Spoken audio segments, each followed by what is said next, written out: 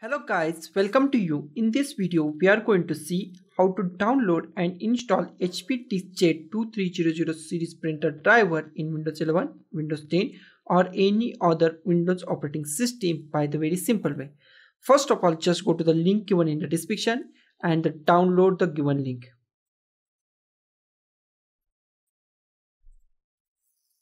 Just go to the desktop, save on the desktop, start download close this.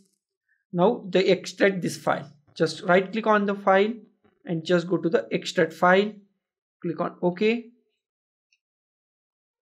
Now double click at here. Here is the our all drivers. Close this. Then now the next step is just go to the start and type control panel and click on the control panel. In control panel just find devices and printers just find devices and printers. Click on that. Here we find add a printer at the top. At the top we find add a printer. Here we find the printer that I want isn't listed click on that. Here just click add a local printer or network printer with manual settings. Click on next. Here we find port. It is the most important part. Here just select port and just select any USB port. USB 001 002 003 any USB port. Just select USB port it is IMP part. Click on the next. Here just click on have a disk browse. Just go to the desktop.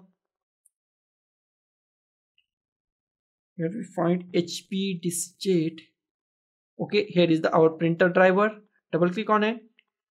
And here just select HP bin USB STUB okay just select USB okay and click on open click on ok now here just select hp deskjet 230 series pcl 3 okay?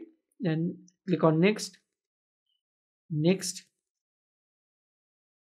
Okay next. If you want to test page then click on the test page and finish. And we are going to check our printer is installed or not. Just go to the devices and printers.